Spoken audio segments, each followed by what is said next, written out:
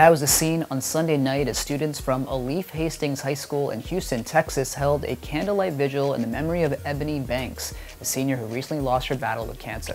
We first told you about Ebony, aka eBob, last week when her classmates created a Twitter campaign using the hashtag eBob meets Beyonce in order to unite the teen with her favorite singer.